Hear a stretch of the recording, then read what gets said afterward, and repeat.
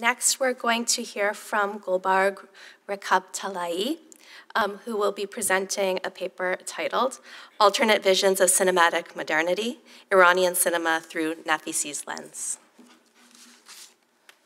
Good afternoon, everyone. First of all, um, I wanted to thank everyone at the Middle East and North African Studies at Northwestern for organizing this event, um, especially Danny and Rebecca and all the others. Um, thank you so much for your hard work. Um, it's an honor to be among such great scholars, um, and it's also uh, my great pleasure to be celebrating Hamid's uh, career and legacy with you all here. Um, maybe I should just make a note. I had uh, I experienced a moment of uh, fear of uh, missing out for not having a PowerPoint presentation. So during lunch hour, I put a PowerPoint presentation together. So my apologies in advance if it's kind of uh, you know not great. in the year 2010, I attended my first graduate conference in Chicago as a PhD student. Accompanying my then PhD advisor, Mohammad Tavakkoli Targhi, and Nariman uh, Safavi, on the last day of the conference, we ran into Hamid Naficy on the street by chance. And I, am sure you don't remember that day, but I do. um, of course, I was already familiar with Hamid, and I felt a bit starstruck when I first saw him. Upon hearing about my project on Iranian cinema of pre-revolutionary Iran, Hamid unassumingly said something about a project that he had been working on for 37 years. A project, he mumbled, that was to be published soon. 37 years. He must be kidding, I thought. After all, there are scholars who have these lifelong projects that usually don't get published. To my surprise, however, next year, the, in, in 2011, the first two volumes of Hamid's A Social History of Iranian Cinema were published. Great, I thought. Now I had to read another 700 pages. And these were just the first two volumes. I had already invested two years of my graduate studies reading the literature in the field, gathering a large number of primary sources that dealt with the history of cinema in Iran, and writing the first chapter of my dissertation. Encountering Hamid's impressive work on the totality of Iranian cinema intimidated me. First of all, being a delusional graduate student, like most graduate students are, I thought I was going to make great strides in revisionist histories of Iranian cinema. After seeing the colossal volume of his work and the framework of his project, I immediately realized that Hamid had already established a revisionist history. And this is, of course, in addition to his work on um, accented cinema, um, and all the, the works that, have, uh, that my colleagues have been talking about um, in, in this uh, conference.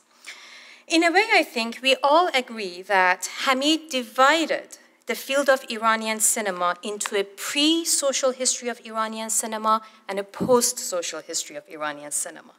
In his unprecedented four volumes, he unpacks the many histories, genres, moments, and texts that define Iranian cinema.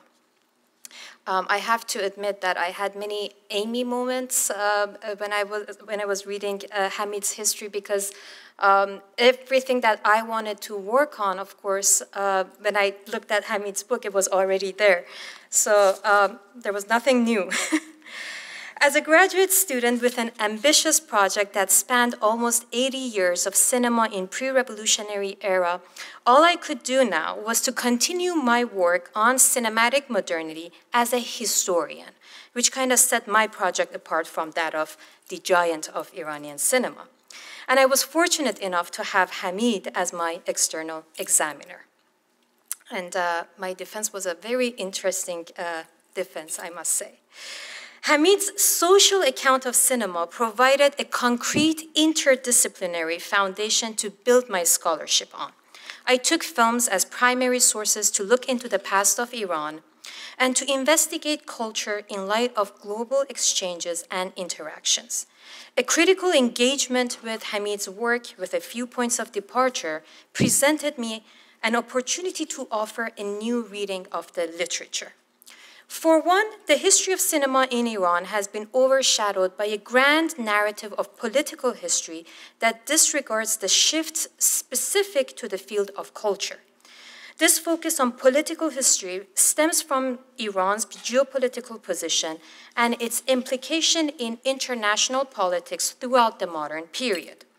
Such an over-determining political history, symptomatic of a homogeneous historical time, to borrow from Benjamin collapses the continuities and discontinuities in the histories of cinema, theater, literature, music, and other cultural spheres, as it provides a strictly political interpretation of the past. Decoupling this political grand narrative from multiple layers, layers, of historical time reveals a range of creative cultural activities inside and outside Iran that have had long lasting impacts on culture and society. Naficy's interdisciplinary scholarship is such a study as he diverts from conventional histories of cinema and advances a social history that attends to the lives, cultures, societal circumstances, and political conditions that facilitated cinematic modernity, film production, and a movie-going culture in modern Iran. Until Naficy, most film scholars, save for Negar Mottahedeh, had uh, started their studies of Iranian cinema with the first Iranian film productions of the 1930s. The period from 1900 to 1930, which entailed an intense engagement with cinema and photography in major cities, was commonly dismissed as part of colonial or imperial, uh, imperialist projects. Naficy, however, showed us otherwise. For its unique position as an offspring of a new time and facilitator of modernity, cinema has been an indispensable part of modern life since the late 19th and early 20th centuries. Its emergence within the conditions of urbanity enabled the formation of spaces where global images, ideas, and peoples were in constant motion and change. In registering contemporary events from 1900s to 1930s, cinema captured the future's past and prompted futural aspirations. So who was responsible for the advent of this technology in Iran? As we move past examining cinema in the private quarters of the Qajar court and move towards a public history of cinema, we see Naficy's liminal middlemen, uh, or uh, what I call cosmopolitans of early 20th century. trendsetters such as Rusi Khan, Sahaf Bashi, Agayov, and Ardashes Badmagarian, who laid the foundation for the establishment of the first movie theaters in Tehran at least. Naficy's call to examine cracks and fissures of social formations urged me to investigate the creative labor of these cosmopolitans further. Indeed, an interdisciplinary, interdisciplinary look at the pursuits of these cosmopolitan middlemen reveal a rigorous engagement with cultural milieus such as photography, reading rooms, conferences, and publishing, which connected the local to global and shaped a heterogeneous modern culture in the early 20th century. Probing into changes that took place in these interstitial places uh, or spaces, uh, to use Naficy's words, proved to me that the experience of modernity was not belated, nor was it Western modernity was experienced through an encounter with unprecedented uh, societal changes brought about by the building of movie houses in urban areas, film spectatorship, um, hearing and engaging in conversations about films, and commingling in spaces of um, uh, movie houses or film screening venues. By virtue of their engagement with cinema, these cosmopolitan middlemen situated Iran as a contemporary of its 20th century, uh, century counterparts. It is due to the significance of the work of these cinema pioneers and Naficy's uh, scholarship that historians such as my good friend and colleague Blake Atwood now speak of cinema in Iran rather than Iranian cinema, meaning in this context that the lack of fictional film production during uh, the first three decades of the 20th century does not indicate a lack of cinematic activities. A critical look into these interstitial spaces also unsettles long held beliefs about the relationship between religion and cinema in its early phases and offers alternative perspectives. As Naficy argues, film elicited a plethora of reactions from religious and secular thinkers of the time. But there is little proof that there were uh, there was a concerted effort on the part of the Shi'i establishment to confront and ban cinema. The film adverts of some of the early public film programs show us that uh, film screenings took place during the month of Ramadan without the kind of public protest that would make it to newspapers. Very few scholars, again, save for Negar Mottahedeh, had critically studied, studied spectatorship in, uh, in Iran in the first few decades of cin uh, cinema in Iran. But now we are more than ever exploring how visions of the other in film, what Naficy calls a cinematic mirror, informed the Iranian national self in the first decades of the 20th century. Uh, and every time I think about this cinematic mirror, I can't um, help but think about um, Makhmalbaf's film Nasiruddin Shah, the cinema actor, the 1992 film. Global lifestyles, norms, and cultures became reference points against which Iranians defined themselves, a process that Naficy calls hailing and haggling with films that allowed for spectators to consume and produce meanings. However, it would be too simplistic to consider this self refashioning to have been against the West. Um, Rather, in line with what Tavakkoli Targhi argues and also what my esteemed colleague uh, Simran uh, argued today, this refashioning consisted of contentious negotiations that were in dialogue with local, regional, and international developments.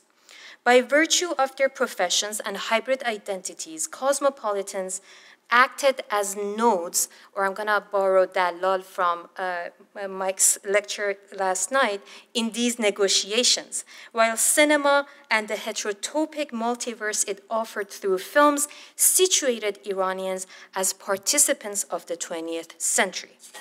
These nodal connections enabled Iranian subjects to imagine the futural nation as sovereign, war-free, socially moral, and advanced.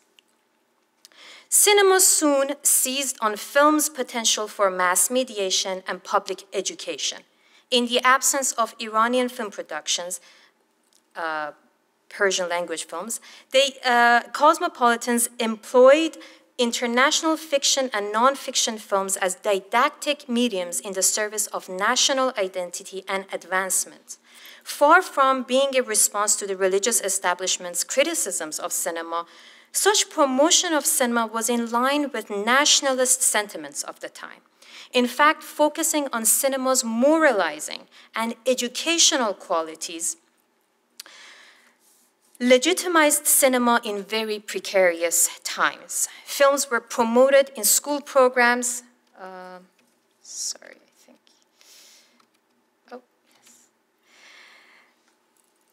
In, uh, films were promoted in school programs, conferences, and charity events. Discounted cinema tickets were issued for students as means for their uplift and instruction in science and history. The acceptance, adoption, and usage of cinema further advanced a film-going culture.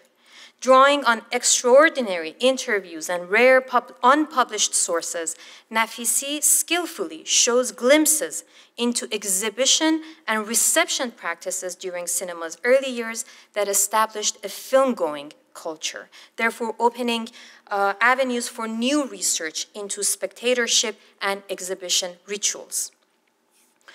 Once accepted for its didactic qualities, cinema became a means to express nationalist sentiments while generating profits. Let's not forget that these activities also validated hybrid identities as national subjects during a time when nationalist sentiments were at their peak.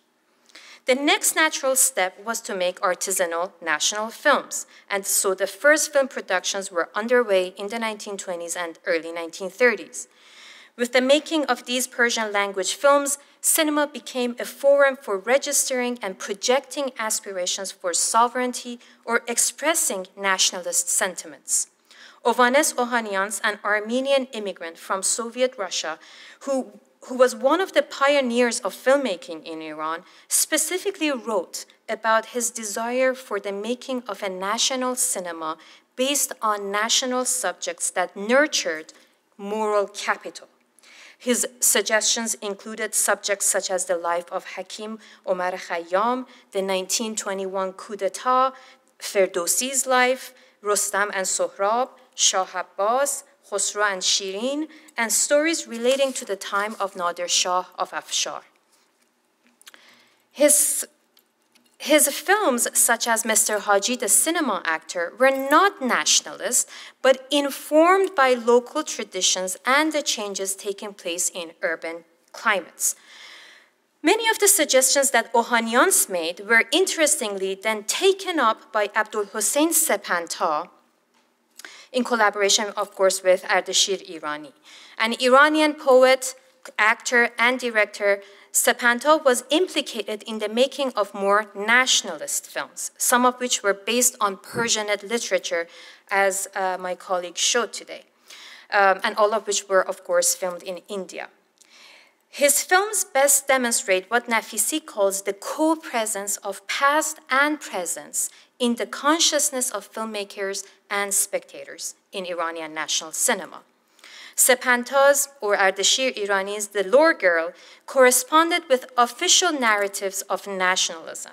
In fact, by the early 1930s, cinema was taken up or co-opted by the state as the government sanctioned the usage of cinema, as I showed in this slide, in schools and commissioned the making of films that portrayed an advanced country or um, uh, an ancient, glorious past of Iran.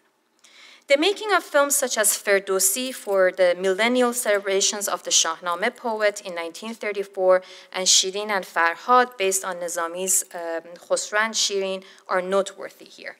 In his books and articles, Naficy also elaborates on this culture of, uh, culture of spectacle that Reza Shah also engaged in in the 1930s, namely his visit to Ataturk's Turkey in 1934, which uh, were part and parcel of the state's cinematic love affair. While the beginning of World War II, uh, sorry, with the beginning of uh, World War II, fiction film production in Iran came to a halt. Again, that did not mean that cinema activities were stalled. And I don't know of any other scholar who provides a more comprehensive overview of the documentaries and newsreels that were made and screened by Iranians and non-Iranians during the interwar, uh, interwar and World War II period as, uh, uh, as Naficy does. As, as he shows us, cinema ownership, film programming, and filmmaking during this period was demonstrative of ethno religious and multinational connections, which had only increased from the early period. Despite challenges during World War II, a popular film industry emerged in the late 1940s, which was arguably an actualization of earlier aspirations for cinematic sovereignty or a national cinema. While painting films with an Iranian color, these popular films drew on global mainstream film narratives, tropes, and characters, and engendered an entertaining cosmopolitan film enterprise. Dubbed negatively as film Farsi to denote their imitation of Hollywood, Egyptian, and Hindi popular cinema, they have for a long time evaded scrutiny and critical examination. And why is that the case? The charges that were aimed at this commercial film industry by cultural critics of post-World War II era were taken up by the intellectuals of post-revolutionary period who studied pre-revolutionary cinema. and therefore film Farsi lost its rightful place in the canon of Iranian film industry. Now, Naficy sharply points out the vehemence in the criticisms of uh, leftist critics in the 1960s who applied the Western or Soviet standards of art cinema and felt embarrassed at the naivete of film Farsi. Naficy heeds the call by Parviz Davoi to take film Farsi seriously and thus de delineates two main genres in film Farsi, namely the stew pot movies and tough guy movies.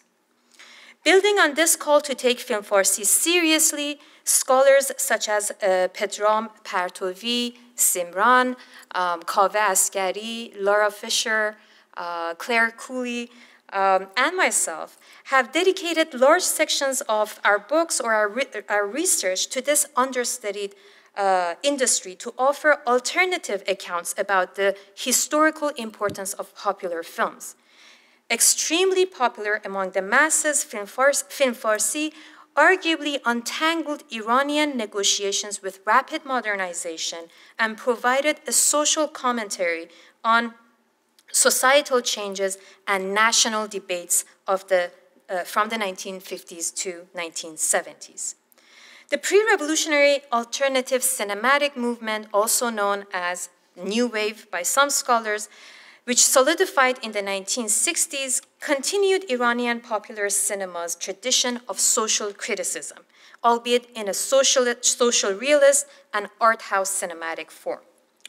This cinema spoke to left-leaning international critics who were supportive of uh, third world nationalism during this time, and therefore gained attention in local and global film circles.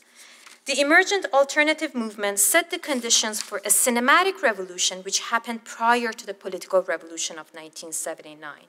The Iranian Revolution of 1979 argu arguably changed the conditions of filmmaking in Iran. Despite the radical changes, however, cinema has continued its tradition of mediating social criticisms and national debates. Because of its realism and social commitment in the last three decades, should say four decades, the post-revolutionary alternative cinema has once again gained the attention of international film critics and found a unique place for itself in film festivals.